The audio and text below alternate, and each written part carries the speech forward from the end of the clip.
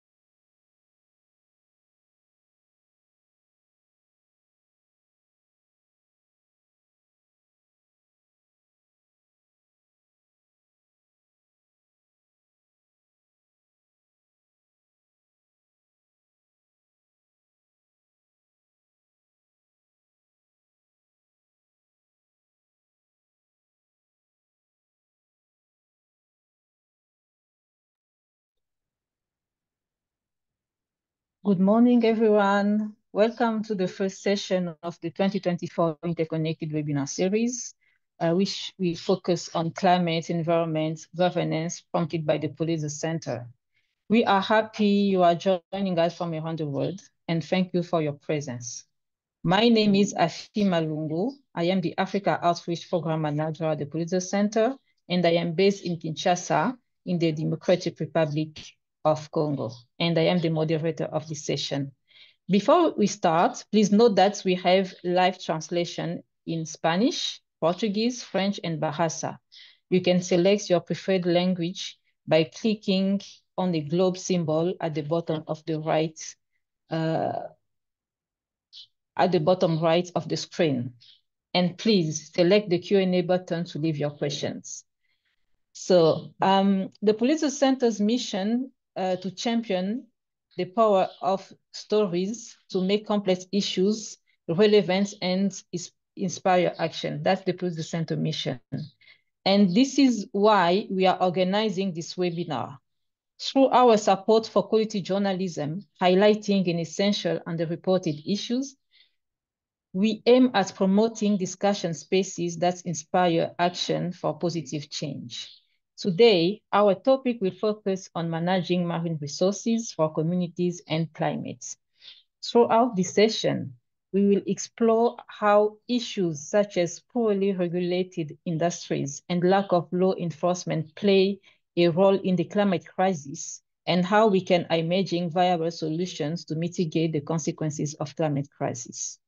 With the Pulitzer Center stories at the heart of the conversations, we are bringing together journalists, leaders from environmental and social movements, policymakers, and affected communities to create a space for critical conversations on marine governance, an essential pillar for the preservation of populations. From industrial fishing to overfishing via ocean ecosystems and the survival of coastal populations facing climate challenges, to their livelihoods, we will be exploring marine ma management issues and proposing alternatives and solutions to improve the sector. At, the, at a time when the role of the ocean is tackling climate change is increasingly at the center of the climate debates, it is important to discuss the rules governing the fishing industries and how it impacts the marine ecosystem and people's livelihoods. Uh, during this session, we will have the presentation from our speakers that I will have the honor to further introduce before they take the floor, followed by a Q&A session, and we will end with uh, we will end sorry this session with a closing remarks. Thank you again for joining us and kindly use the translation button at the bottom of the screen to select your preferred language and the Q&A to leave your question. Now, let's hear from our panelists and the amazing work. Uh, they will be happy to answer your question and after all the presentation. Uh, now, uh, let's welcome Now, let's welcome uh, Barry Christianson. Uh, he will be our first speaker this morning. Barry is a freelance documentary photographer and a journalist from Cape Town in South Africa. Um, he, is a formal web developer. He, he used to work on diverse topics ranging from uh, his long-term projects on Cissie Gool House, a housing occupation in an abandoned state-owned hospital to seal death on South Africa's west coast and uh, what it takes to build a field hospital during the first wave of COVID-19. His work has appeared in a variety of South African and international publications, including the Daily Maverick, the GroundUp, and the Mail and Guardian, Nature, National Geographic, Global Citizen, Al Jazeera, Rest of the World, among others. Uh, Barry is uh, a grantee from uh, the Pulitzer Center. Welcome, Barry, and uh, uh, kindly take the floor. Thank you, Afi. Just share the screen.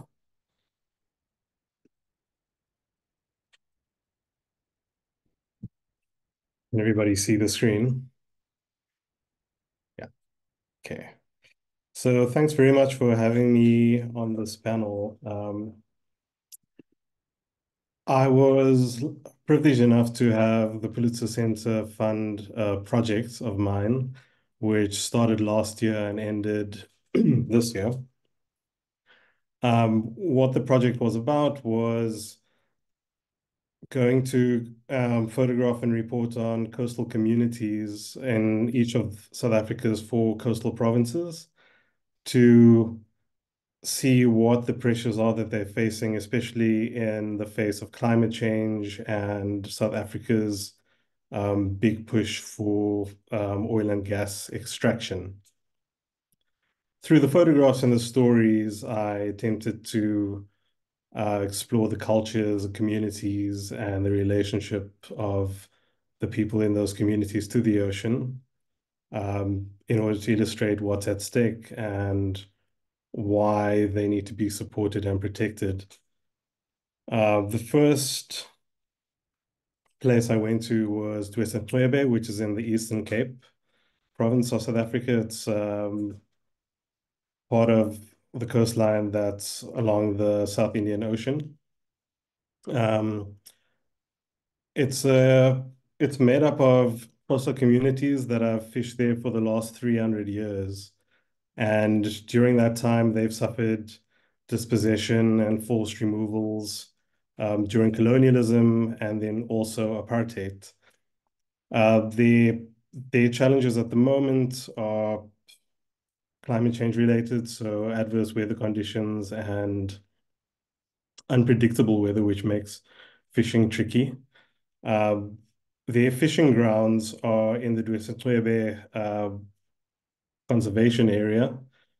And one of the big challenges that they have is that the, the body that governs the conservation area seems to privilege tourism over their livelihoods. Uh, they've in the past they've had to go through a court case to have their uh, customary rights validated, and the courts ruled in their favor. But despite that, they still have an ongoing struggle in order to access the, the resources. In addition to that, um, their culture being the fact that they have resided there for over 300 years, their culture and religion are very tightly wound with the ocean and the rivers. And that spiritual relationship that they have to the ocean was actually used to stop Shell from doing seismic blasting in search of oil and gas off their coastline.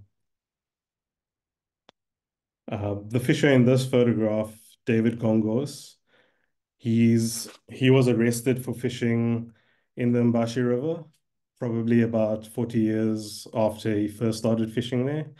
Um, and that led to this court case where ultimately their rights to fish in the area and their, their rights to the resource, to use the, the resources of the ocean and the forest were vindicated. But despite that, the ongoing struggles for to have meaningful co-management of the reserve um, is still an ongoing one, and it's something that they they're still busy with today. Uh, further north, Kosi Bay, which is just on the border of South Africa and Mozambique, was another amazing place to, to visit. Um, in the photograph, a fisher is about to spear a fish in a fish trap um, called a fish kraal. And those fish kraals were, there's evidence that they were used at least 700 years ago in that same estuary. So the cultural and historic ties to that place are very deep as well. Because of the proximity to Mozambique, uh, they are feeling the impacts of climate change in, in quite a big way as well. Um, research has shown that as the ocean warms, cyclonic activity moves further towards the poles. And what um, you know, they, they might start to experience um, extreme weather events as that continues to happen and cyclones bypass Madagascar and make landfall closer to South Africa. Um, they also have issues with conservation that privileges tourism, tourism over their livelihoods, and it's also um, a battle that they are currently engaged in. Uh, they're supported by NGOs that um, work for fisher rights as well. And ultimately, what they want is a recognition of their customary rights and also meaningful co-management of the nature reserve. Um, this uh, gentleman in the photograph, he's started to teach his son how to tend to the fish kraals in that 700 year old tradition. Um, and when asked why he's doing it, he says that uh, those fish kraals in the water are the only evidence that there were people there before. Then down to the Western Cape, Struisbaai, um, it's also a small scale fishing or small commercial fishing village. The lots of the fishes, such as the the man whose legs you see, uh, Martinus Newman, he uses a traditional boat called a chakkie, where they they steer with their feet. Um, the boats they they basically 10 man boats, so they provide income for quite a few families in the community, but they are unwieldy and slow. And one of the big challenges that they find is that during the the season where they tend to catch the most fish, they have to compete with recreational fishers. And the recreational fishing sector in South Africa is largely unregulated. So whereas they have the slow, unwieldy boats, um, the recreational guys tend to have quite high-powered, very fast boats, and because they go to the same sandbanks where the fish are usually found, they can't compete with the recreational fishers. And even though they aren't allowed to sell their catches with recreational permits, they do so, which then further drives down the price that um, the commercial fishers such as Newman are able to get for their fish. Um, and pressures such as that impact on all the work in the value chain in Struisbaai. So this is his his wife and daughter work at the at the fish factory where they do quality assurance work, but obviously the the fewer fish that comes in and the lower the prices that they're able to get, it has an impact on them as well. Um, Martinus Newman's daughter M, she's basically um, standing for the portrait in front of her boat, and she wants to be the first woman skipper in Struisbaai. The boat that her father fishes on was built by a grandfather who sailed it for some 600 kilometers to to get to where they are. So there's there's quite a strong uh, intergenerational character to that fishing community that also stands to be lost if um, if anything, you know, if, if the pressures continue. The last stop was Hondeklip in the Northern Cape.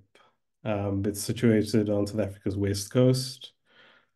Uh, this photograph is from within the ruins of a fish factory that was built by the big commercial fishing fact fishing industry that was there a few decades ago. But um, after the 70s or so, they they packed up and left. Um, situated in the mining areas where most of the mines have stopped being productive fishing is one of the only ways that people can make any income. But due to, again, due to climate change, fewer sea days because of adverse weather conditions have a massive impact on their ability to make ends meet. On days when there are lots of fish, everyone in the community gets involved. Um, these these young men are cutting and cleaning fish uh, for a small fee. This year, while I was there, uh, there was a strange situation where there was some over-policing that was happening. Um, the the Department of Forestry, Fisheries and Environment didn't issue the fishers their permits on time, and the fish that they target during that time was already plentiful. So police were there to to check their permits, and many of them didn't have it as they weren't issued, and their catches were confiscated, which was quite distressing for the community where many of the people are poor and depend on the catches and leftovers on days like that. And then this last photograph of Hondeklip Bay just symbolizes how the community sees their their spot inside the fishing ecosystem. Uh, there are no lights. There's a gravel road, and in the distant horizon, there are three bright lights that either belong to commercial fishing boats who are allowed to fish at night or diamond prospecting boats. And that's the end of the presentation.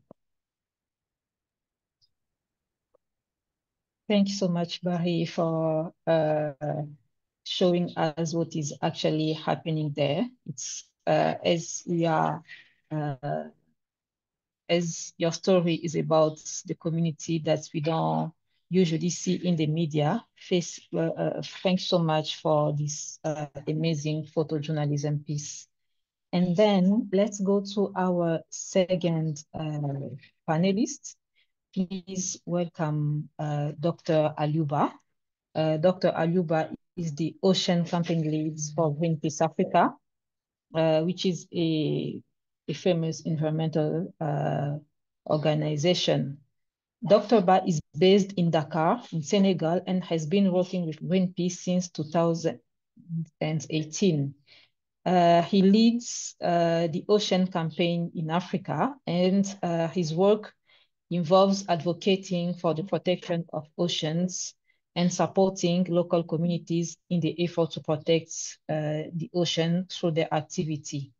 And uh, finally, he campaigns against the destruction of oceans through illegal fishing, fish meal industries, and other harmful practices. Thank you, Doctor, for accepting to be with us.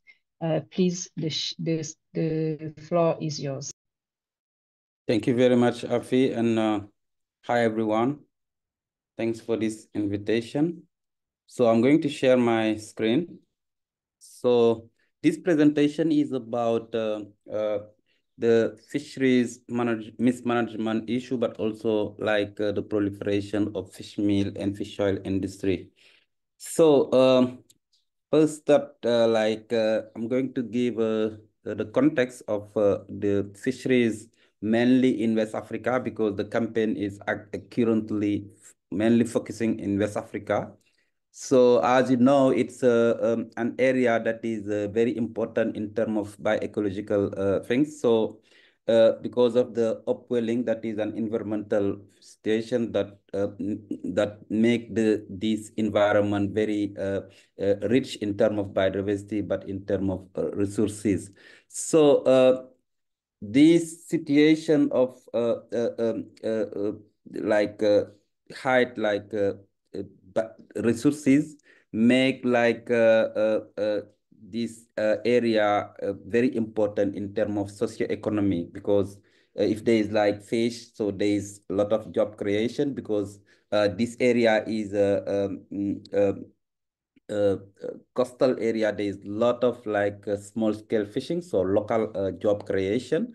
So there is also people that uh, uh, have their income around this activity and it is also very important for food security because uh, most of the people that are in this coastal area have like uh, for the for the for the animal protein are using like uh, fish for for that and uh, uh, it's also very important in terms of cultural because it's something that is cultural for these like indigenous people, if you can call them like that. So this is like uh, an activity that is uh, very, very, very important for people in this area. So, um, uh, but uh, at this moment, there is a lot of threat around these activities. So um, because of like uh, IUU fishing, so uh, like uh, there is at this moment a uh, lot of distant water fleet, fleet that come from uh, Europe or Asia, so that sometimes are through like uh, fishing agreement and sometimes no. So there is like lot of like uh, industrial vessels that are there competing like local fishermen. So this is at sea and on the land, there is also what we call fish meal and fish oil industries. So it's some industries that are using uh, fish to produce uh, fish meal and fish oil to feed animals in Europe and Asia instead of like feeding like people on the on the on on this this area. So it is a competition between uh, uh consumer African consumers and animals that are going to be like uh, feed in Europe. So that's very, very unfair. So, and uh, we also have a, a threat that is coming. So the offshore oil and gas, as you know, there is like this proliferation of this offshore oil and gas that is uh, uh, like all along like uh, West African coast. And we already see the example that already happened in Nigeria, and we don't want that to happen in West Africa. So at this moment, there are restricting the fishing area to communities. So, and we also know that there is like high probability of pollution in this area also. And now the consequences are like uh, the fish, most of the fish stock are overexploited. We have uh, overcapacity. There is biodiversity loss and there is a lot of risk of pollution. The At the socioeconomic level, like most of the fishermen are losing their job the female fish processor also that are competing with this fish meal and fish oil also are losing their job. They lost their income and the the the West African countries, mainly like Mauritania, Gambia, and Senegal, and like the others are like under food insecurity because now the fish, there is a fish scarcity, and even if you see the fish, it's not accessible because of the price. And uh, all these consequences also land to an what we call here illegal migration because now fishermen are using they boat like the small scale to use it to go to Europe directly for a better future. So that is something that is happening currently. Even yesterday, we found a boat with 40, around 40% that dead inside. So there's a lot of people that that lost their life like trying to go to Europe because of like the the fact that they cannot like do they uh, they cannot like have enough like fish at sea. So uh face to that, we are running like uh, campaigns, like uh, some campaigns to push uh, uh, uh authorities for policy change as you can see, so we so just like uh, how we do it, so we do uh, like investigation, like around what is happening because we have a lot of mean of investigation. We have ships. We can do sometimes ship tours. We can do investigation at sea, but also on land because we have some uh, uh, uh researcher that can do it for us. We can also involve uh, external researcher on, on universities or like a key person that can do it. So we uh, produced some report around uh, the issue. So one, the one that is called a waste of fish or seasick report or find, finding a monster. And the last one that I did not mention here that we do uh, with feedback is called it like uh, uh, uh, Blue Empire. So this like um, report focus on fisheries mismanagement and mainly um, uh, and mainly the fish meal and fish oil issue. So we also produce like uh, what we call a policy brief. So, and also doing lobbying with authorities and MPs. So with this policy brief and with this report, we can like push, uh, like uh, share with authorities how we can like change, if we do a policy change to take like act and measure to stop this dynamic. So uh, uh, like uh, with communities also we work with with uh, with uh, authorities but also we mainly working with communities by doing capacity building by doing trainings like by doing also awareness raising so regarding capacity building what we are mainly doing is that like we share with communities what we call campaign tips so we give them like capacity to be able to run their own campaign. So because, uh, you know, the organization are not like uh, here every time and every moment. So we give them capacity to be able to run their own campaign, even if Greenpeace or other civil society organizations are not here. And that works very well because there is like, at this moment that we are, I'm talking with you, there is like uh, communities that create big coalition and now they are mem they are even able to go to, like to have like uh, to receive some fund from uh, funders to run like some campaign. So we also do what we call action or NVDA, nonviolent direct action. So uh, uh, this one one of the uh, example that I take is called oil stand, because as you know, with the fish meal and fish oil industries, they they they use like some tankers to to bring like uh, the fish oil from West Africa to Europe. So we use one of our ship to block one of this uh, uh, oil tanker to just like uh, raise awareness around this issue in European uh, consumers, but also in like international uh, uh, like place. So we do also what we call legal action because we train like communities to be able to feel like legal case against like environmental issue that they are facing. This one was about uh, one fish meal and fish oil factories that was that is uh, currently in the area that is called Kayar. And this fish meal and fish oil factories is owned by uh, uh Barna, that is a, Span a Spanish one. So uh, they they they they well they they take like a lawyer prepare the strategy and all of that. So we do also what we call rapid responses because as you know, the the the borders like uh, the the EEZ of most of these countries are are are something like open for IUU. So there is some Chinese vessel that come there or Russian vessel that we identify and do like a rapid responses with communities. And we was able to push back 52 uh, uh, uh, like Chinese vessel that was about to have licenses in Senegal and also Russian vessel that come without license fishing there and we do with uh, uh, communities uh, rapid responses using the small boats doing like intensive campaign to push back.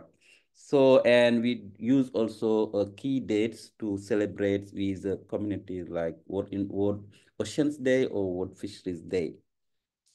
So this is like some example of uh, activity that we do with communities. One of them is the red mask protest that you can see here. So in the bridge, eh, we do like uh, uh, protests against the fisheries management, uh, like uh, the government was about to give this 52 license. We do like a red mask protest. It was during uh, like time. Excuse me, Dr. Ba. Sorry, yeah. Dr. Ba, you have one minute left.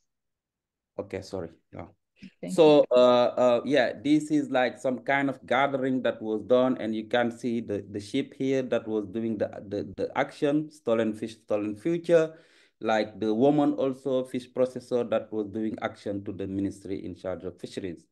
So the impact is that like uh, uh, like of this campaign was like uh, national international media attention around like the active like uh, this fish meal fish oil issue, but the fisheries mismanagement so they, the government finally organized the national consultation to freeze these uh, uh, fish meal and fish oil industries.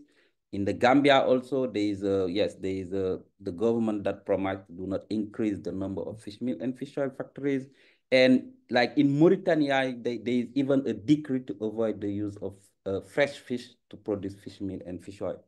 And Barna, that was the owner of this uh, fish meal and fish oil industry, just sell its share, share its uh, sell its share in and leave in uh, in like leave the the factory.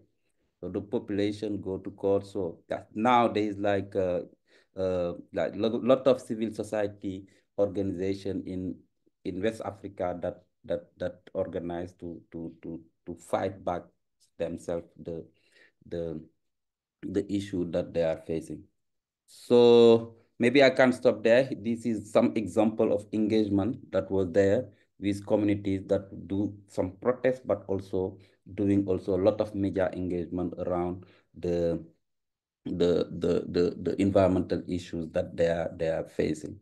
So yeah, this is a, the case of the litigation. So, and uh, yeah, and uh, over from here, this is a board like an action at sea that was calling for the ratification of the World Ocean Treaty at this moment. Over and out. Thank you so much, Dr. Ba, for uh, I, highlighting how you are working on capacitating coastal communities and uh, what action they are uh, taking to demand uh, for their rights. Uh, thanks so much. Let's go to the to our third speaker, um, Shamim Wasi Mianda. Shamim um, uh, is a climate educationist, green warrior, humanitarian, env environmental guardian, and activist. Uh, Mother Nature is her home, as she said, and she has a sense of belonging and attachment toward her. She believes in restoration and not extinction. Mount Kilimanjaro's fragile beauty is her source of inspiration towards environmental conservation. Shamim, please take the floor and take us through your presentation.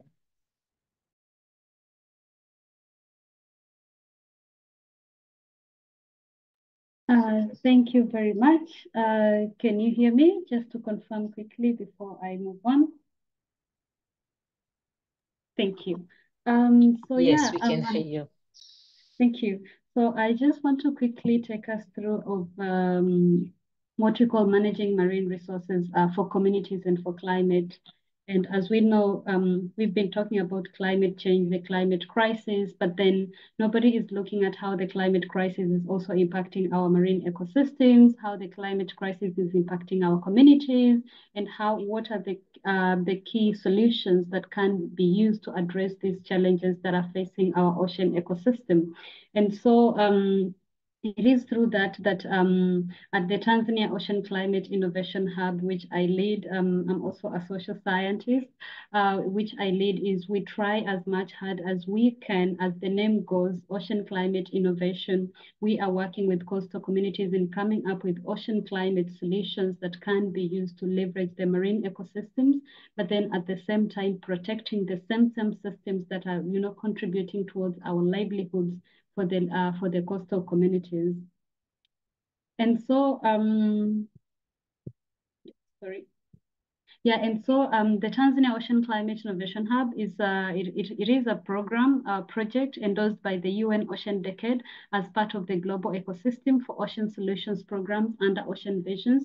And here we are working at looking at what are some of the some of the key innovative solutions that we can come up with in terms of repair. How can we repair our oceans in terms of um, reaching? How can we reach our communities? How can we talk to them in terms of also trying to see um, how do we even restructure this in a sense that we are able to to, cap to capture the carbon emissions that are being emitted within our ocean ecosystems. And that is part of us managing these ecosystems without necessarily understanding what is the technology that is available for us to be able to use to do that. What are the key solutions? What is the indigenous knowledge uh, available? And how can we leverage that knowledge for us to be able to articulate and speak about our marine ecosystems, but also speak about the marine resources and not just um, all about taking, taking, because that is how it has been for years and centuries now that we've been just been taking from the ocean and taking, taking, but then we're not giving back. So how are we working with communities to make sure that we are also giving back to the ocean? We are also protecting the ocean. We are also working closely with the ocean and connecting the ocean to people. And um, I'm lucky that I also work with IOC UNESCO at, at, their steering committee called on the ocean literacy, where we are trying to see how can we work closely with communities in order for us to be able to connect them to the ocean. Because sometimes it's so hard for me to protect something that I do not understand the essence of it, or I do not understand why should I even be protecting the ocean. And as we know, majority of the African countries, it's so difficult for us, if, if, even if we've grown up um, next to an ocean. Some of us even don't know how to swim. So how can we even be able to provide that kind of knowledge to these communities and provide them with the resources that are available in order for us to protect and manage our ecosystems, ocean or marine ecosystems? So then we looked at, uh, at the Tanzania Ocean Climate Innovation Hub, we looked at uh, Tanzania's rich coastal resources and how it's facing the ocean crisis uh, due to the climate emergency that we are all discussing about. We are all talking about looking at ocean acidification. We are looking at the rising of temperatures. We're looking at biodiversity. We are looking at, you know, disruption of the ocean's balance. And, and recently we had a research that talked about the, the bleaching of corals for the first time in, in, in East Africa, the Indian Ocean. So what exactly are we trying to do and how are we working in order for us to make sure that we manage these resources in a more um, in a more sustainable way? How are we integrating traditional knowledge with scientific research? Because that is, um, mo most of us fail in that direction to the essence that we believe science is the key solution to the ocean problems. But to, but to some extent, indigenous knowledge contributes a lot because these people have been there for years and ages and they understand how the ocean ecosystems have been changing and they can be able to also contribute towards that. But also looking at how do we even talk about the climate justice and equity part of it particularly looking at the marine ecosystems? Um, the previous speaker, I think he talked about, you know, the distant water fishing nations and how they, you know, they come to our uh, our ocean ecosystems and then fish and then, you know, all those kind of things. But when we look at our own small scale fishers and sellers within our own countries, they do not have access to certain technologies that can allow them to go into deep waters or that can allow them to do distant fishing. So it becomes very hard for us to even talk about justice for us to even talk about the climate justice part of it within the ocean ecosystems, but also inclusive marine uh, resource governance. How do we talk about this? How do we empower local communities, including women and young people to take leadership roles in managing marine resources? And um, of course, this inclusive governance model will also ensure that the voices of all community members engaged in ocean and marine resource management are considered in ocean conservation and climate adaptation, focusing on the ocean climate crisis that we are experiencing. And of course, our, our, our main goal as the hub is to look at the, the, the, the, the to drive tangible ocean climate solutions through interdisciplinary efforts and, and here we are looking at science, we are looking at technology, we are looking at business, we are looking at fostering sustainable development and climate resilience. And so how are we how are we trying to bring all this together and you know making sure that they are much understandable they are much you know taken in by the communities that are taking care of these resources? How are we creating the public awareness? And for us we are doing that through ocean literacy programs. And um, of course, it's through these programs that we are aiming at public awareness to the importance of marine resources and the role of ocean climate uh, in, in terms of um, in terms of regulation, how are we regulating the climate?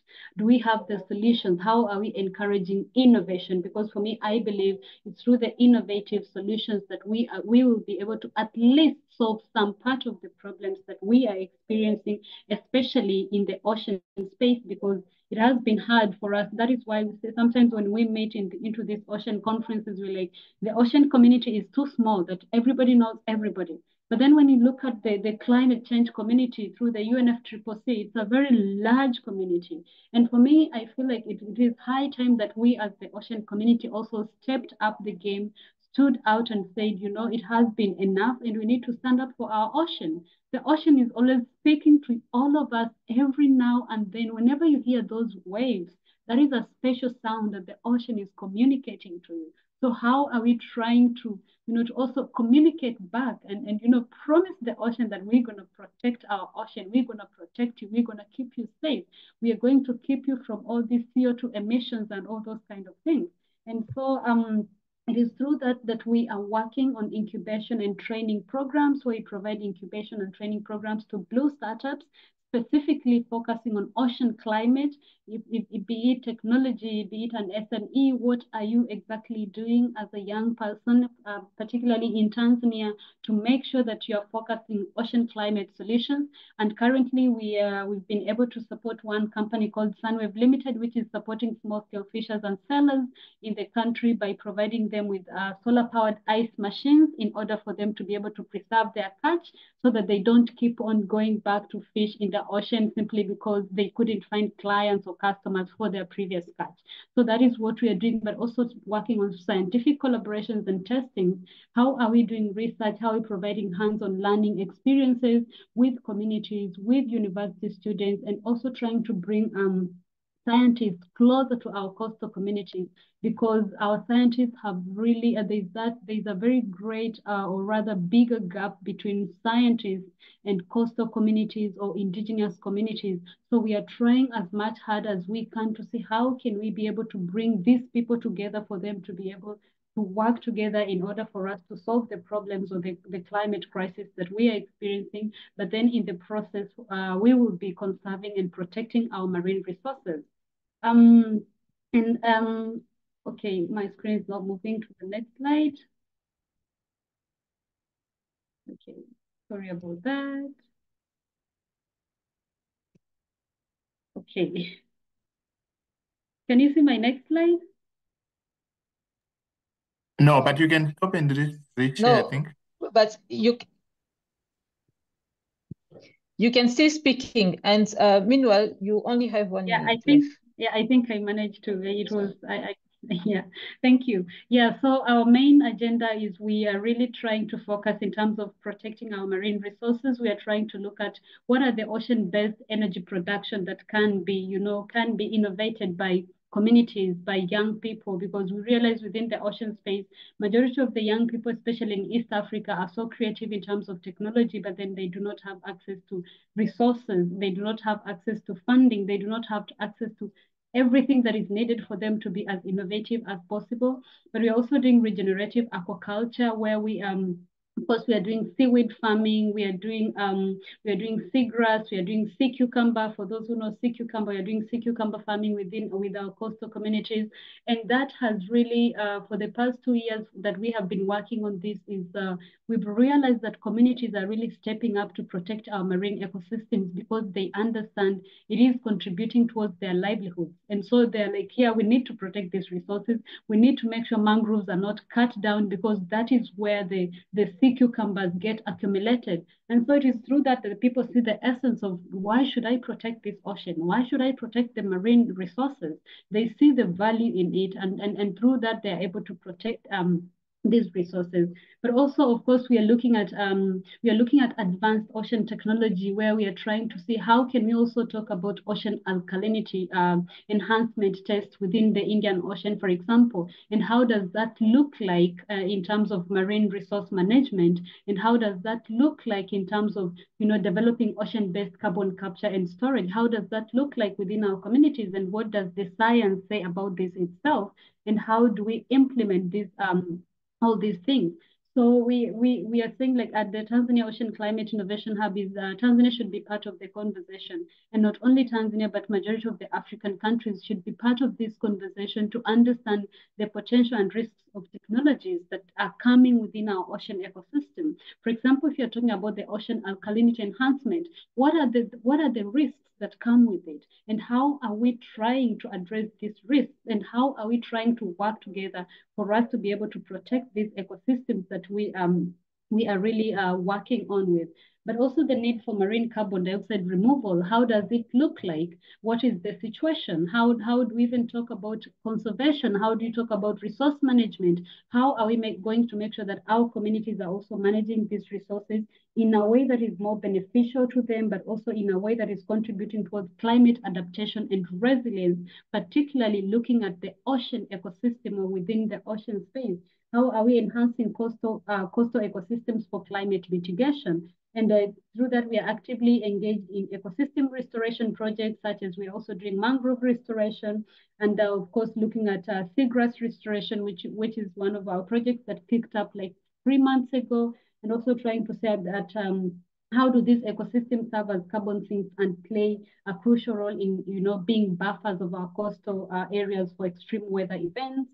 But also looking at the rising of the water sea levels that we are all seeing and talking about. This is due to the impacts of climate change, but also, of course, supporting our livelihoods uh, through what we are calling, um, you know, ocean farming. Here in Tanzania, we refer to it as ocean farming. How do we manage these resources within the ocean ecosystem? Of course, we're also doing mangrove beekeeping, the most expensive honey in the world. And we have a community that is working on this project and it has been an amazing journey working on this with them. And, you know, mangroves are not being cut down anymore because, you know, you cannot go and cut down a mangrove that has bees on it unless you, you have a death wish for yourself. So that is how these ecosystems are, are really being managed and protected within the country in Tanzania, but also trying to look at uh, crab farming. These communities are doing crab farming, which is really interesting and amazing, very accumulative within the mangroves.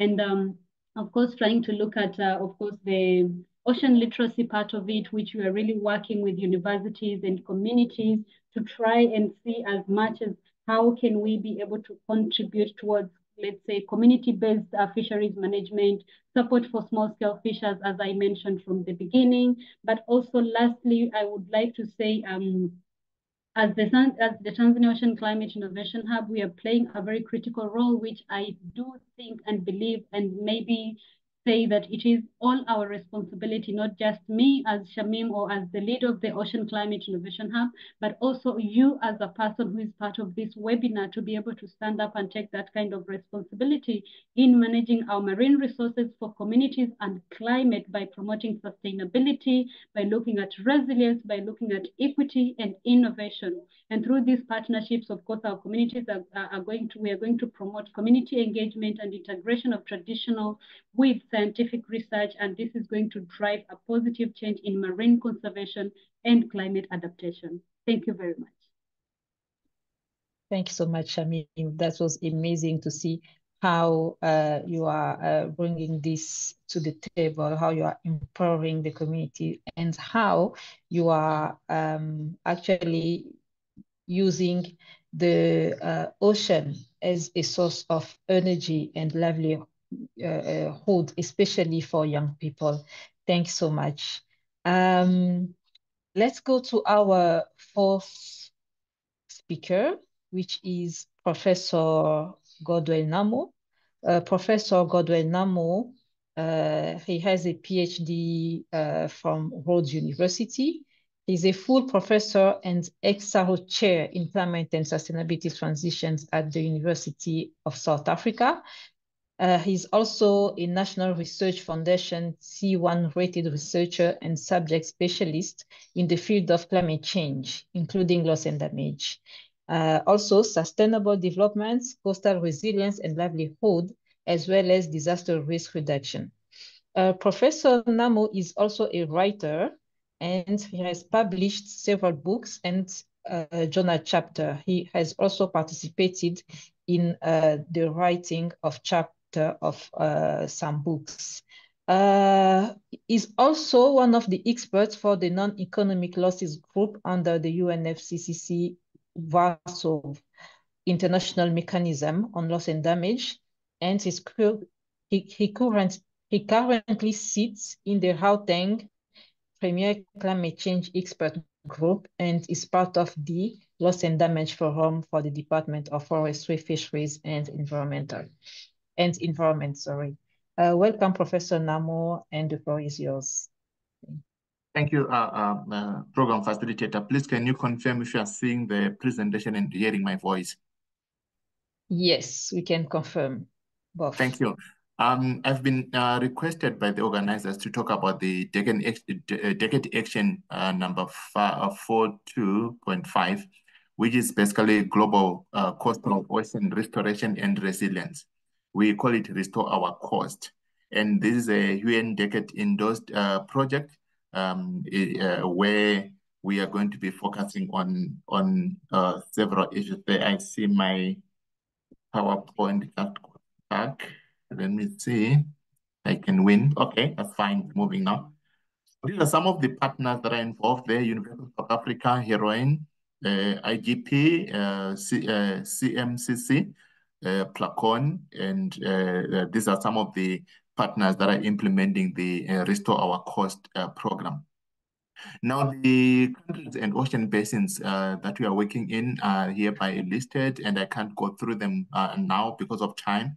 But basically, they they, they are from the North Atlantic Ocean, South Atlantic Ocean, South Pacific Ocean, Mediterranean Sea, and also others, including the Caribbean and also Wadden Sea. Now, what is of interest really is to try maybe by focusing on what is happening on the on the global platform in terms of the ocean decade. So the ocean decade there is talking about a lot of other things that actually were presented in the earlier presentation. It's like uh, ocean literacy, is about marine policy, oceans and and and and and, and uh, uh, coastal erosion, is around co-design, is around ocean governance, blue economy. Uh, and I think this, this actually speaks to even some of the uh, presentations on fisheries that came, the two presentations that came earlier on. The other issue that is interesting when I'm talking about the how we build uh, ocean and, and coastal resilience, we talk about co-creation and co-production of knowledge and co-design and co-delivery of what we want to do. And uh, in Restore Our Coast, are saying it, this should be central in, uh, in, in our project that we're going to be doing. Now, in summary, what is Restore Our Coast all about? Restore Our Coast is, uh, um, it, it commences on 1 May 2024 and it's going to end on 30 April 2030. And Restore Our Coast uh, addresses coastal restoration and resilience holistically by delivering new solutions for ecosystems restoration and, and management.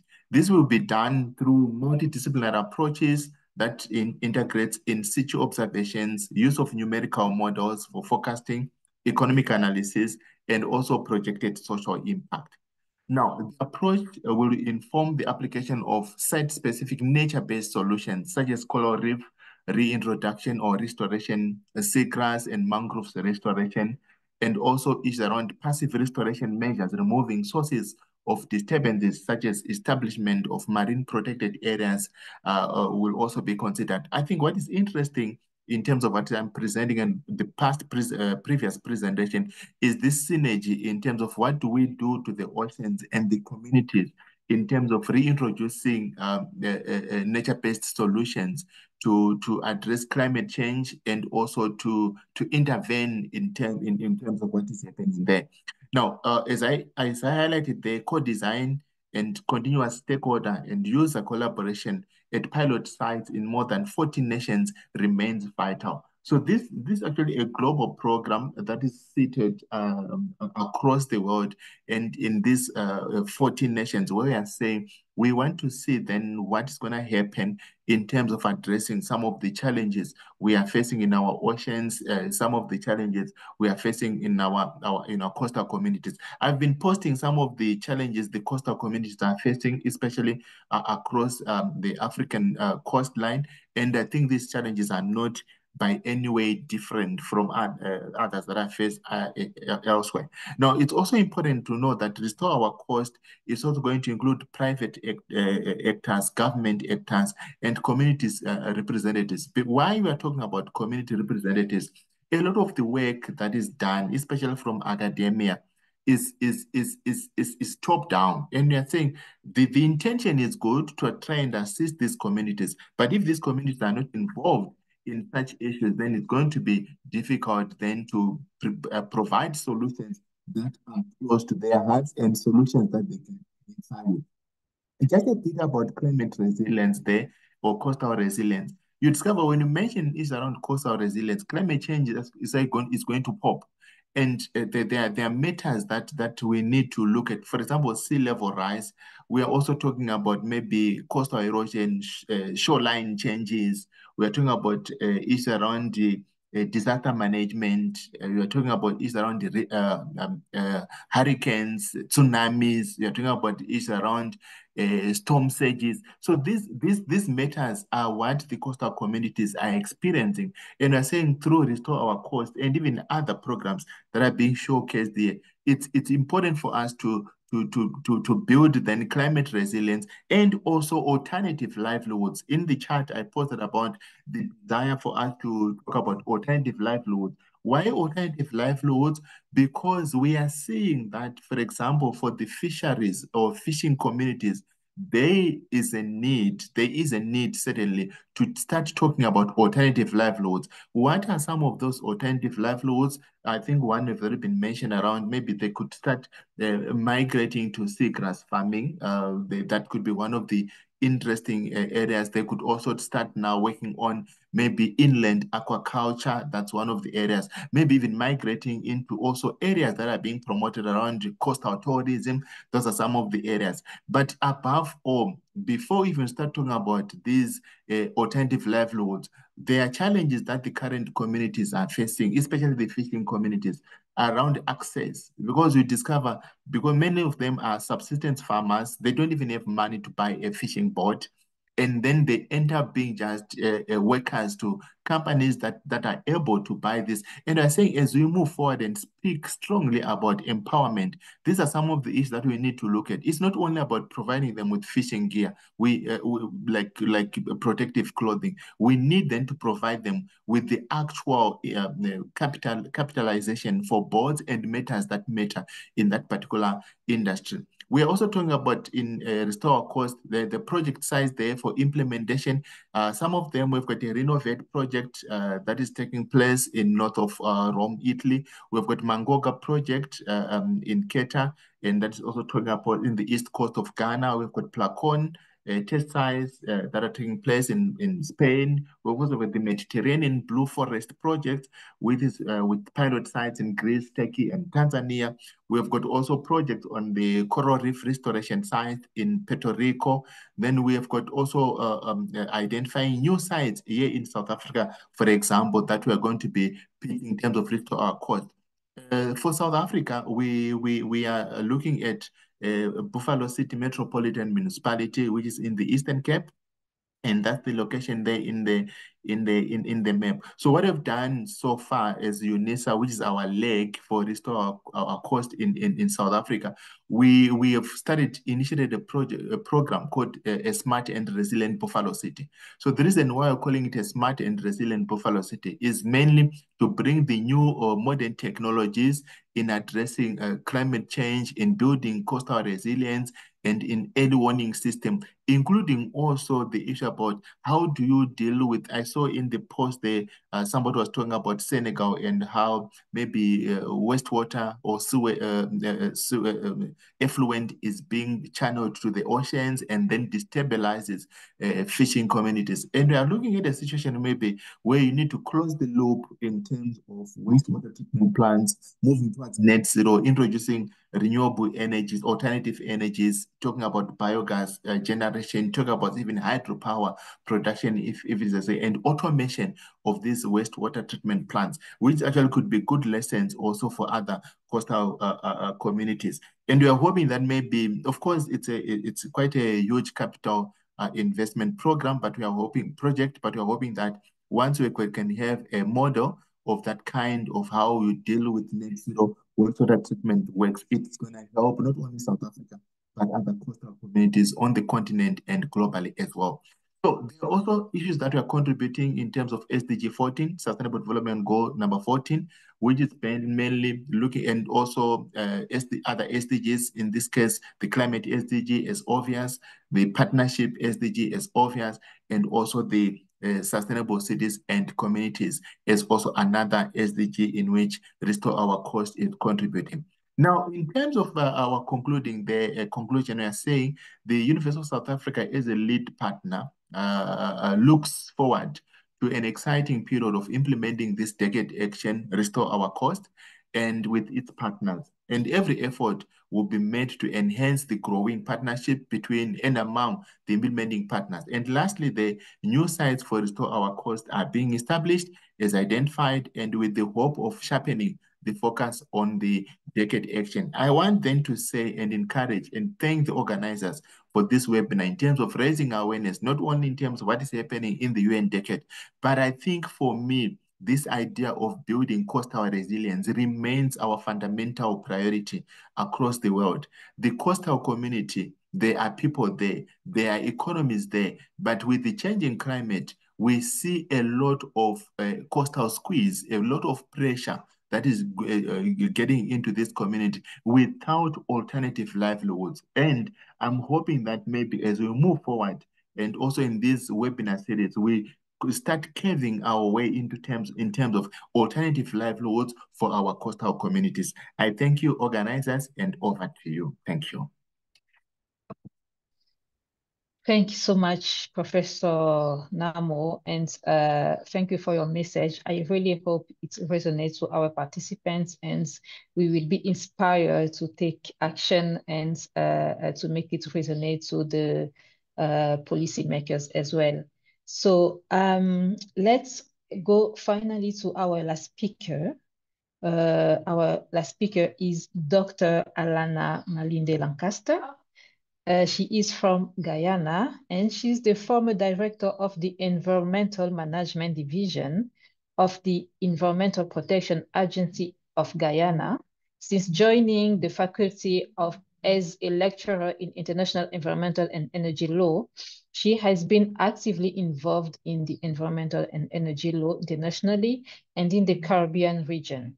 She has recently been appointed as a member uh, of the executive team of the One Ocean Hub, a research collaboration with the University of Strathclyde, the UWI and 30 other research institutions in Africa, the UK, and the South Pacific. Thank you, Dr. Lancaster, for accepting to be with us uh, this morning. Please take the stage. Uh, good morning, everyone. And thank you for the kind invitation. I think uh, my uh, presentation will give uh, perhaps a global interna uh, legal perspective uh, from the perspective, from the lens of um, human rights law and how it relates to many of the things that um, the presenters would have um, identified. Uh, as a matter of fact, I'm, I, I was quite enjoying some of the presentation because some of it resonates directly with the work we we we have been doing at the One Ocean Hub, and also uh, some of the in some we have also been working in some of the communities, uh, at least uh, uh when the first photo essay in, in South Africa, we've done some work in Kosi Bay, for example. All right, if I can get my presentation to move forward. All right, so uh, one of the critical um, aspects of of of of uh, the the climate conundrum, and and that is that is perhaps not as heavily recognized or or emphasized uh, at an international level, uh, is the relationship between uh, the the the ocean ocean and, and mitigation of climate change.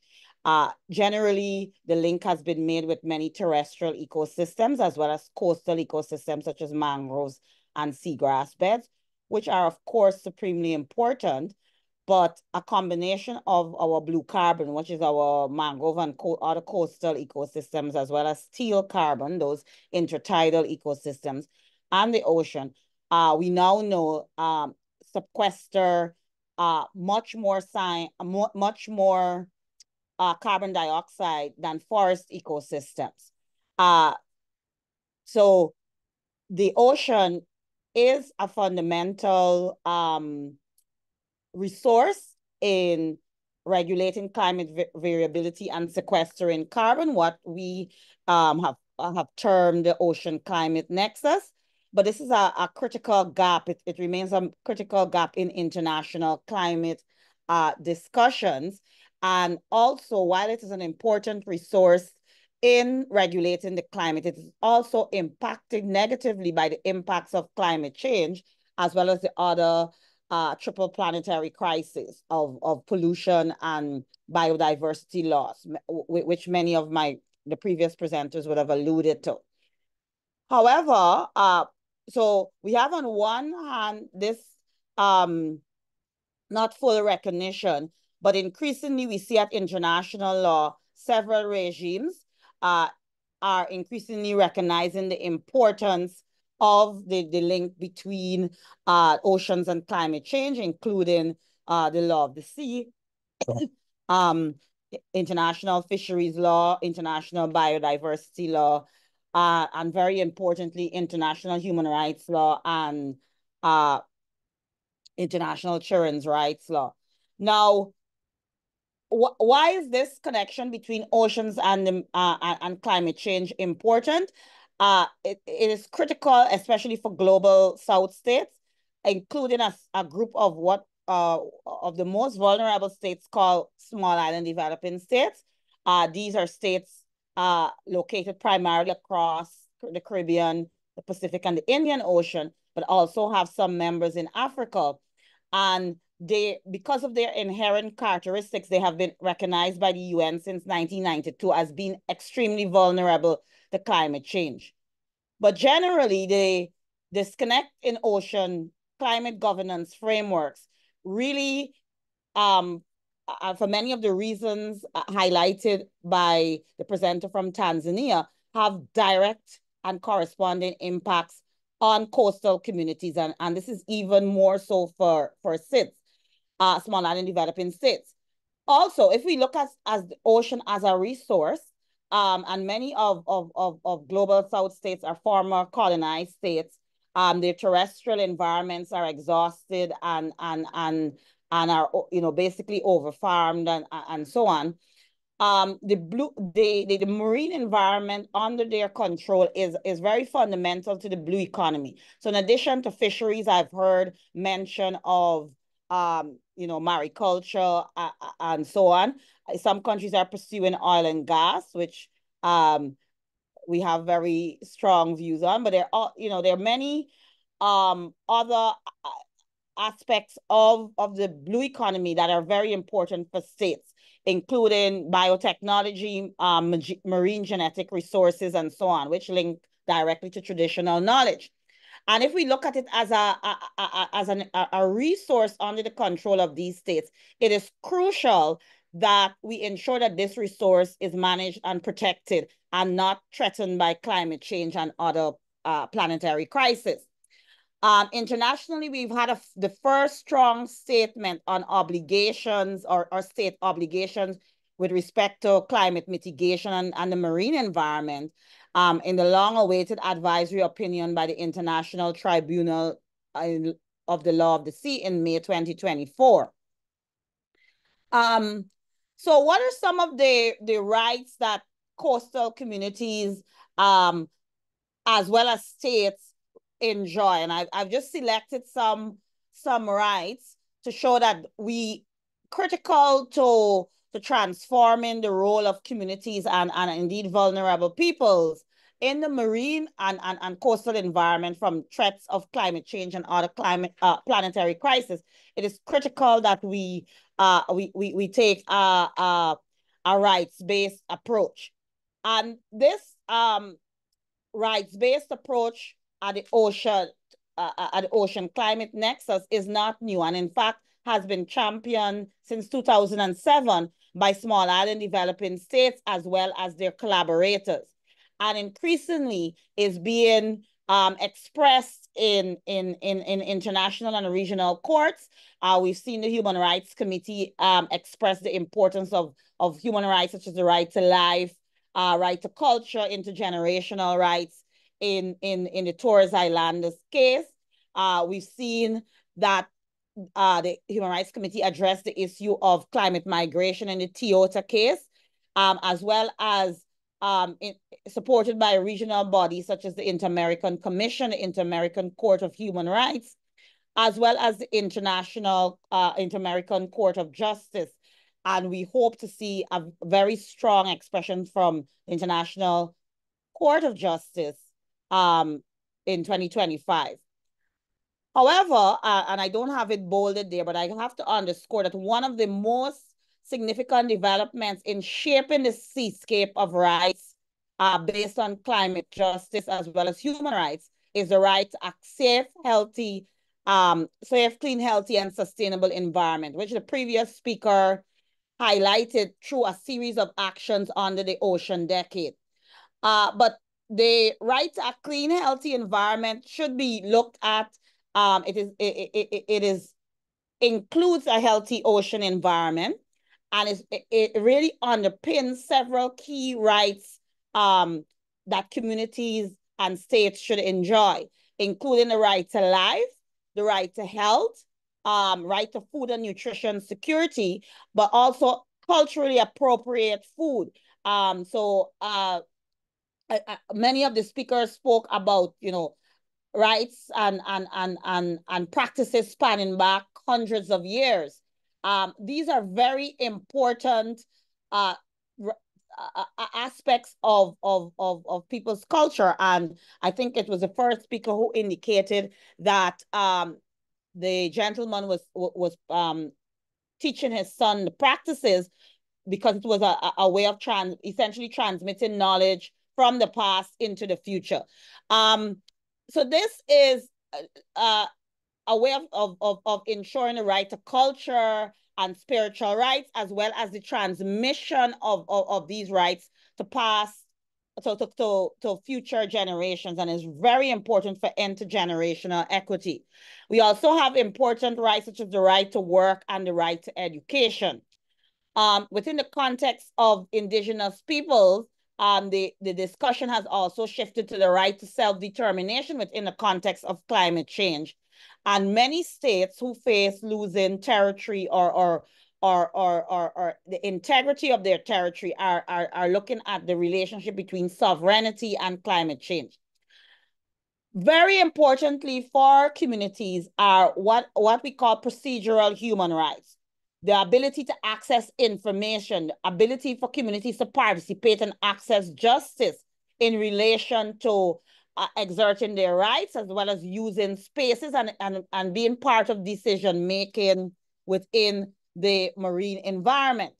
So very quickly, I won't go through all of these because I many of the speakers actually highlighted uh, in, in, in, in, in their examples and in their discussion, how at a national level, states can implement some of these global level human rights into their own um, not practices, policies, and nat- national legislation. Because in the main, many of the, the, the international agreements that underpin the ocean, the Law of the Sea Convention, um, that that underpins climate change, the um, the UN, the United Nations Framework Convention on Climate Change and the Paris Agreement, as well as on biodiversity, the, the Convention on Biological Diversity, are subscribed by the preponderance of states, but the action there's there's there are challenges at the global level but even when we agree to things at the global level states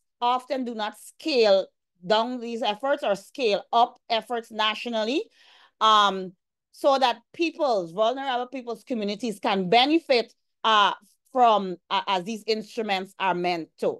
So a key thing is introducing legislation policies and strategies that are, are, are science-based, but I, I, as I also have there, not only science-based, and one of the previous speakers alluded to this, but also takes into account not only uh, traditional, customary, and indigenous rights, but also uh, promotes co-management and community-based actions, um, including community-based alternatives. So for, for example, in the Caribbean, um, sometimes a, state may, in pursuance of its objectives under, for example, the, the co Convention on Biological Diversity, uh, protect a marine area. So I work with a community in, in, in the Caribbean island of St. Vincent and the Grenadines, uh, called Mayreau, and they're pr primarily traditional fishers.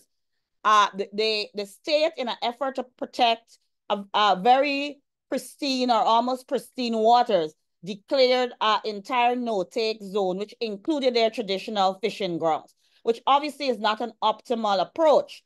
Uh, one of the responses by the community was the in was uh, innovative in pivoting to um, seaweed mariculture, which allowed them to um, provide um, for their livelihoods and also had the additional benefit of of of of of, of being of of um um providing for some of the fisheries which um they had lost because some of the fish came to spawn and some of the species.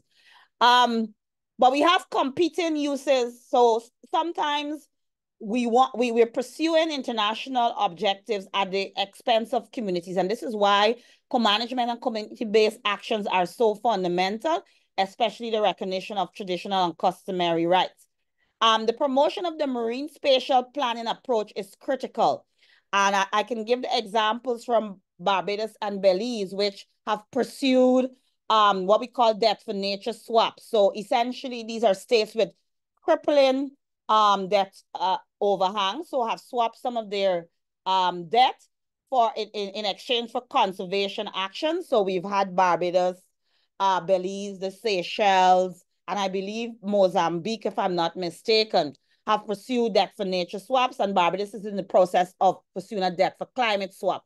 So these are beneficial because they both um this the, the state writes off some of its sovereign debt, but it also on the agreement that it pursues actions in line with um biodiversity or climate goals. And one of the, the actions on this Barbados, for example, is taken is promoting the marine spatial planning approach, which is critical to balancing competing uses of the oceans and preventing um, coastal and blue grabs, which is, I mean, many of the speakers alluded to the competition between tourism and fisheries, between oil and gas and fisheries. And this is not only in Africa, this is also happening in the Caribbean, uh, including Guyana, where I'm from. A critical aspect also is deepening the relationship between the gender dimensions of climate change.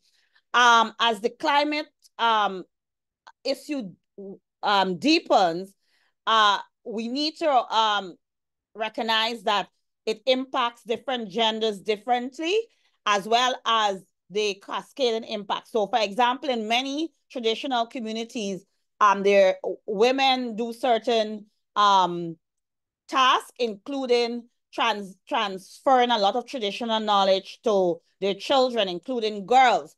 And if, if, for example, if you have a forced migration between because of climate change, women are impacted differently. Women and girls are impacted differently. And globally, women are often marginalized um, from decision making and so on. And, and this has been recognized as a, a, a, a area that needs to, to be um, bolstered. And, and as I have there, true mechanisms which provide promote the principle 10 rights. So your principle 10 rights are your participation, access to justice, and access to information. And this is especially critical for respecting the rights of environmental actors, including communities, um, women, indigenous, and in the region where I am from, Afro-descendant peoples, and very critically, youths and climate change. Um, in Africa, in the Caribbean where I am, and globally, we are now in living in an era where the percentage of children and youth are more than any other um, point in our history. And the climate, um, the climate issue will disproportionately impact them because essentially we are making decisions which they will have to live with. And often in many processes, they do not have a voice. Um, I, I what we are seeing heartening steps in, in this regard. Um, we've seen that, for example, recent decisions of the um of the climate cops have have endorsed the inclusion of youth and children defenders. We have the recent um um pact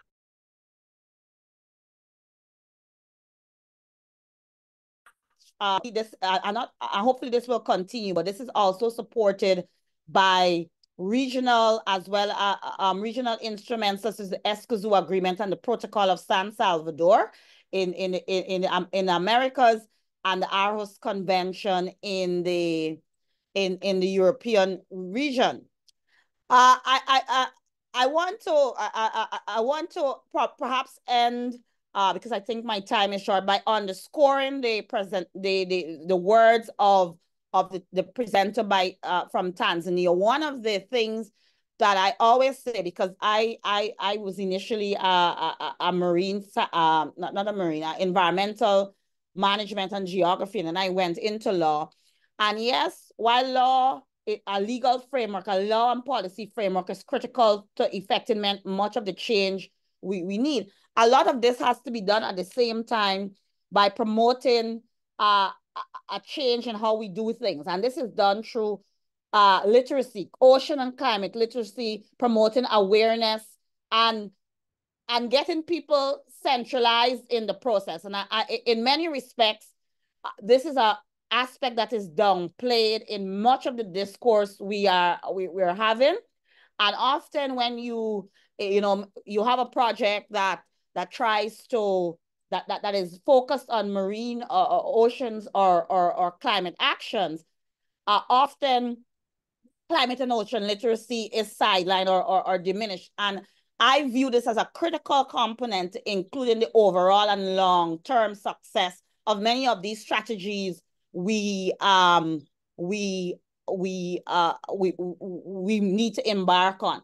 So to me, ocean and climate literacy, especially of children and youth, both in informal and formal mechanisms through our schools, youth clubs, um, through this, the media, social media included, is critical while we are pursuing a lot of these global and national frameworks, um, such as, you know, including promote preventing marine pollution, ensuring a fair and just trans transformation. Um, excuse me, Dr. Alana. Yeah, I'm, I'm excuse me. Up. Excuse me. Yes, thank and, you. And and and looking at the impacts of IUU fishing. So we need to to recognize that um, you know, we we, we need to, to come at it as a, a as a comprehensive approach.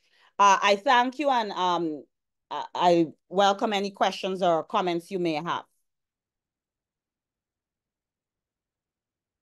Thank you.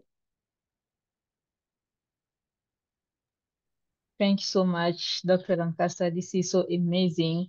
And thank you uh, as well for uh, uh, uh pinning the fact that uh, uh, ocean and climate literacy is so, so important for communities and literacy through media, schools, university, um, I think that is why actually we are doing at the Pulitzer Center this um, uh, uh, engagement program. Uh, is it is about uh, to be able to build a community that is able to uh, take actions to advocate and also to bring change in our society.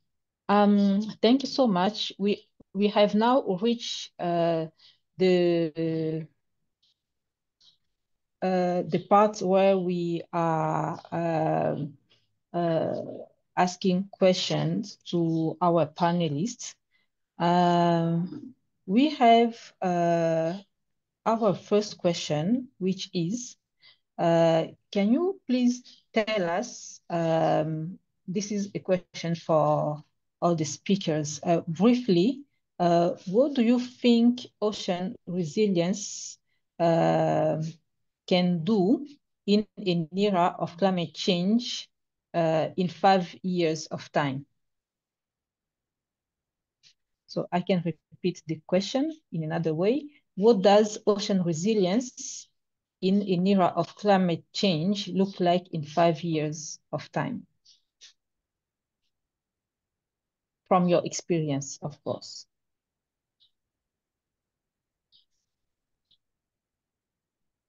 So who would like to speak first?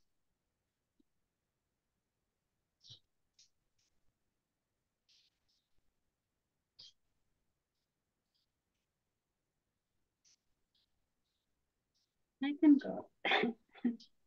yeah. Um, Thank you, um, Shani. Yeah. And um, maybe I'll try to also switch off my video so that, uh, yeah, you can, I don't mess up with it. We can see you. Okay, perfect. No, thank you. Okay. Um, yeah. yeah, thank you. So uh, for me, ocean uh, ocean resilience, uh, to me, it's, uh, you know, it, it really refers to in a way that how are we capacitating our own oceans to recover from stress but also to look at the adaptation part of it, as I mentioned from the beginning, like how do we maintain its ecological um, functions despite the disturbances that have been going on, despite the, the climate change itself, the pollution, the overfishing, the habitat destruction. So to me, that is how um, it looks like. And of course, it includes, uh, it has different key elements that we can be able to look at and be, be, say like in the next five or 10 years, or let's say vision 2030 and beyond for our ocean ecosystems is to look at how the, the health marine ecosystems, how do they look like? And if, if it's the corals, how do they look like mangroves, seagrass, seabed, seabeds and everything? How does that really apply and how is it adapting and how are the communities also adapting? For me, that is resilience, but also looking at the biodiversity, the um, the marine protected areas, the, ad the adaptable fisheries, how is this industry working, and also looking at green and regulated waters because we have, um, sorry, we have to look at uh, innovation in a way that it addresses the problems that are going to face us not only now but in 10 years to come in 50 years to come. And that that alone is the resilience part of it. So what are some of the key innovative solutions that we are coming up with that we know are not only going to solve the problems of today but are also to, going to make sure that our communities are resilient? And our communities can only be resilient only if they have health oceans because that is their right. And our communities can be resilient if they have access to these marine resources. And our marine resources can also be resilient if they are being protected, if they are being managed um, in a more um, sustainable way. So sustainability is key, but also looking at the policies themselves. How do policies also talk about the resilience of the marine resources, but also of the communities that are, you know, next to these resources and looking at uh, the climate change mitigation. How does it look like for our countries? How does it look like for the global south? Ocean literacy, do people understand? So we are looking at the resilience where people are able to understand all these structures and integrate them in a way that they can have you know, key solutions to the problems that are really facing our ocean ecosystems, but them as well, especially with the coastal and indigenous communities. Thank you. I can come Thank in you so there. much. Yes, please. Thank you. Thank you, facilitator. Um, thank you uh, uh, for the response that was given there by Shamim. Um, I just want to maybe um, disintegrate it a bit or maybe distill it a bit to say when I talk about ocean resilience, we are saying are the oceans and our seas able to bounce back? Bounce back to where? Bounce back to their original status where everything being equal, there was no marine pollution, there were no plastics coming to the ocean, there was no um, seabed mining, there was no oil spills. They, they, they, so, so that that's one aspect. So the one aspect is global. So when you talk about maybe the climate change, uh, the, the, the emission of the greenhouse gases, the harmful greenhouse gases or carbon emissions, that's more at a low, at a global need of address. But there's also issues around the local communities. What we do as municipalities, um, uh, discharging uh, raw sewage at times, discharging uh, substandard effluent into the ocean at times. So that also has got a part that that that that we play at a local level.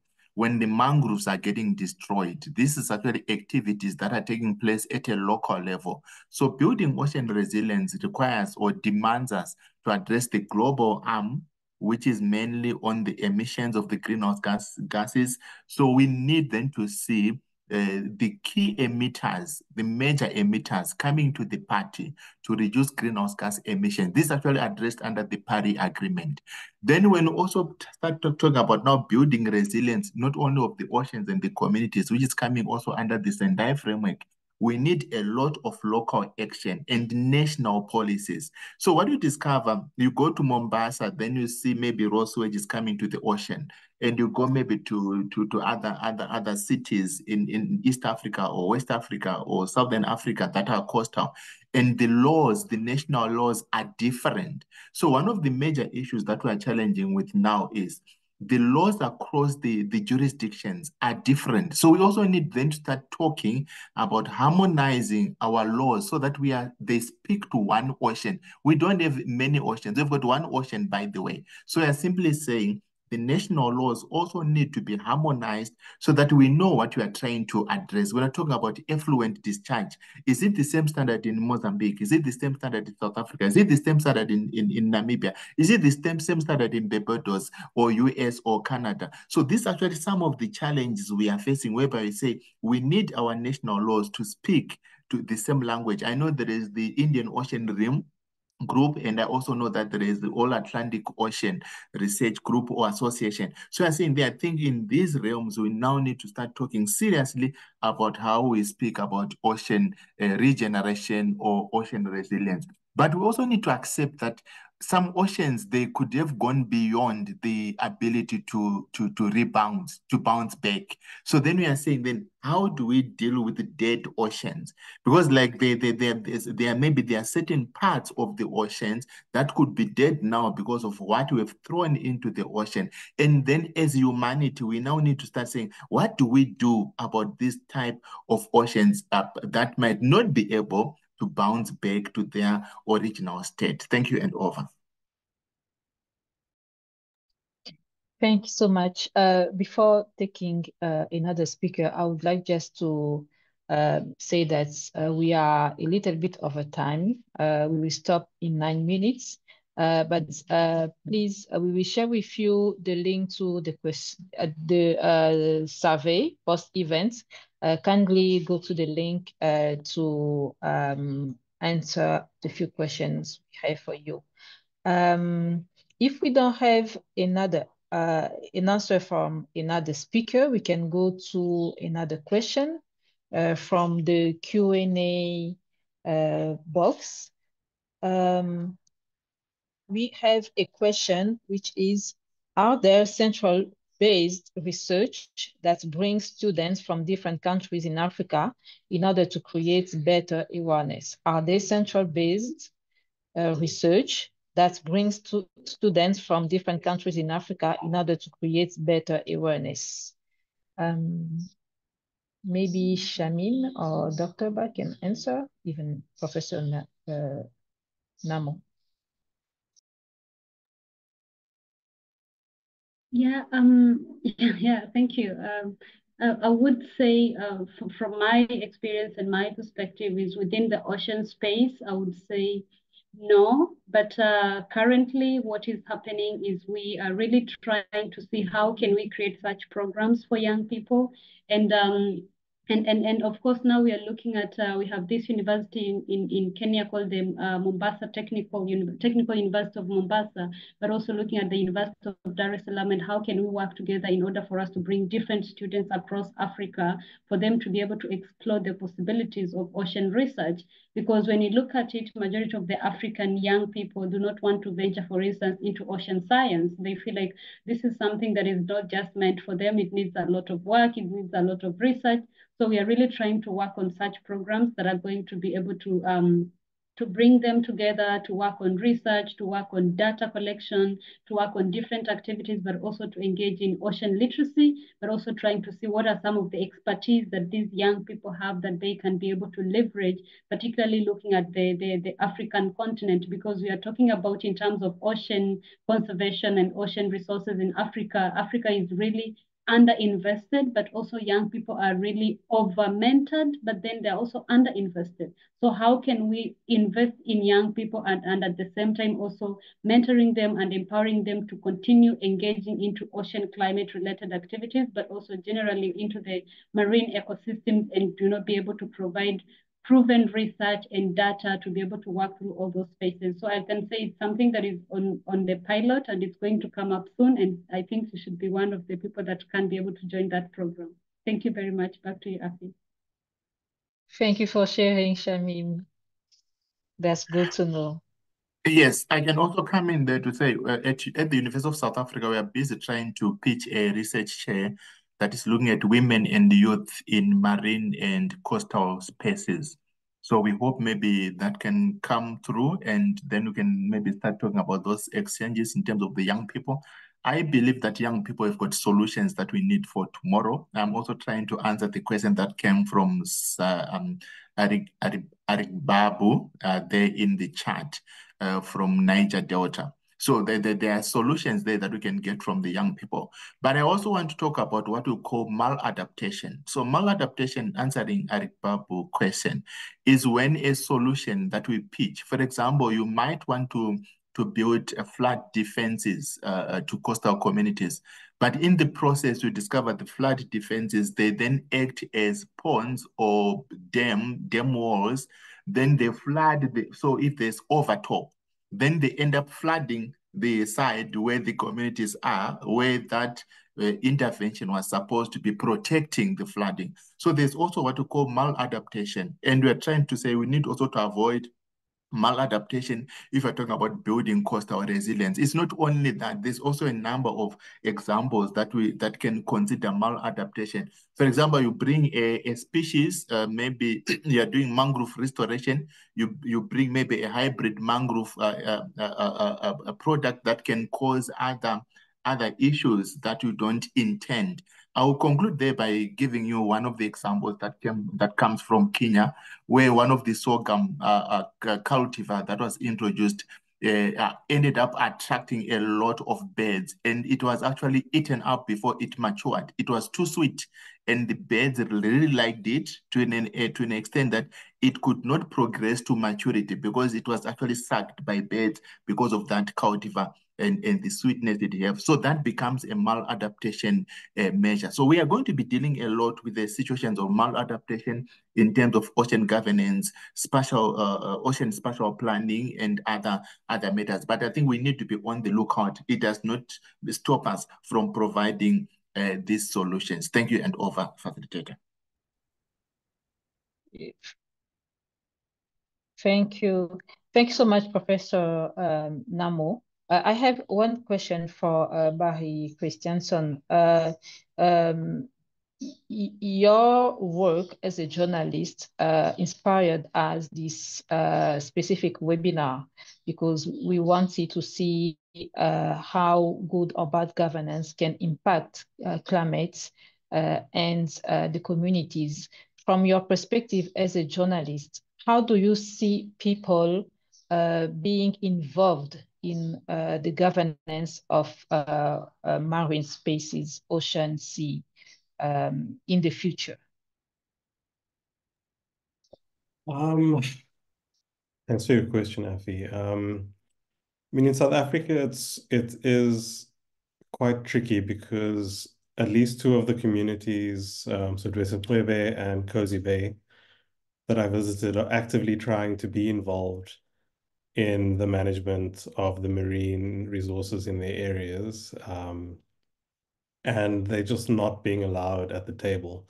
So my the photo essay focused on small scale fishing villages where people they don't subsist per se, but they they catch far fewer fish, far less fish than commercial fishers, but they do sell part of their catch. And for them, they weren't really recognized as a sector when we got democracy and the Marine Living Resources Act was promulgated. So they actually had to go to court to be recognized as a sector. And since their recognition, they've been marginalized all along the way. Um, so in an ideal situation, those communities like the Dwesa-Cwebe, where the courts have um, validated their customary rights, it's just not been realized in practice they would have an actual effective co-management situation with uh, with the marine protected area that they fish in. And the same goes for Isimangaliso. And then just in terms of the small scale fishes and their impacts, they um, their impact on fish stocks are, are far fewer than that of the commercial and industrial fishers because they, they use smaller boats. There are fewer of them that are allowed to go out and fish. So I think on the other hand, giving them a more equitable um, slice of the pie would also see to a lot of um, a lot of the issues that we are seeing in terms of just dwindling resources in terms of let's say west coast rock lobster or certain fish species um, being less under less pressure, you know? I don't know if that answers what you what you asked. Thank you so much, Barry. Uh, I have a specific question from the participants for uh, Dr. Ba. And the question is, uh, is the is pollution due to the increased urbanization and the lack of wastewater treatment and industrial waste uh, the new harbor project, the planned desalination plants also a factor impacting fisheries? Uh, yeah, thank you very much, uh, Afi and Neil for this question. So yeah, I think there is an, uh, um, yes, there is a really an, uh, like it's a threat also on fisheries. Like, as you know, in the Hann Bay that is here is very, very polluted. And if you know that, look at the food chain, it's clear that it's something that is impacting fisheries, but also impacted like even people that are consuming fish, some fish that come from this area. So it's a real impact that uh, like uh, people uh, like uh, some of the communities are, are facing and some of them also are fighting back and also give like solution to communities. At this moment, there is some initiative regarding the domestic pollution but uh, the, the, the, the, the one that uh, at this moment we are uh, uh, facing really is the new harbor that are that they are, they are that they are putting, but also like uh, uh, the desalin like the salinization, like the desalinization water industry that they are putting. Uh, hopefully, one of them is cancelled, and we are trying to push that like uh, it like do not continue because it's going to increase the salinity. As you know, fish is uh, something that uh, have an ideal of uh, temperature and salinity. If it change, the fish go uh, uh, like in another places. So that is not good for fishermen that are here. So yeah, indeed, like uh, yeah, um, Neil, that's that's clear that it's an impact. Over. Thank you so much, Dr. Ba. Thank you so much uh, to all the speakers, uh, Barry Christianson, Professor Godwell Nhamo, uh, Shami Mwasi, and Dr. Alana Lancaster for uh, actively participating and sharing with us your knowledge, your work. That is a great inspiration. Um, uh, uh, Jesse, uh, the reaction during your presentation, it was amazing a really educational session and it's full of inspiration for us to uh, act uh, now, even in the future. Thank you so much. Uh, we are uh, in the end uh, of our webinar session. Unfortunately, we have uh, to stop here. thank you, dear participants, for joining us, for making this session really, really engaging. Uh, thank you for your question. The rest of the question, we send them to the speakers so they will um, answer and uh, uh, uh we will uh, find a way to uh, reach the, the answers to you through our newsletters or our communication channels at the Pulitzer Center. this is just a first session of this interconnected webinar series in 2024 please, I invite you to stay tuned and to uh, uh, actively participate to the next one. We will be focused on uh, this uh, theme, too hard to work, progress and challenges in hate legislation for worker protection. It will be held on October 4 uh, at uh, 7.30 p.m. Jakarta time, which uh, corresponds to GMT plus 7. And this session will, will examine the advancement and ongoing challenges in developing heat protection policies and workers. We discuss the current state of legislation and the necessary steps to ensure worker safety in increasingly hot climates. Uh, thank you so much. Uh, we are wrapping up this session. Thank you, dear participants. Thank you, uh, our dear speakers, and also thank you, thanks to the Pulitzer team. Uh, uh, see you in our next session. Bye-bye. Thank you very much. Thank you. Bye-bye. Thank you very much. Bye. Thank, Thank you. Goodbye.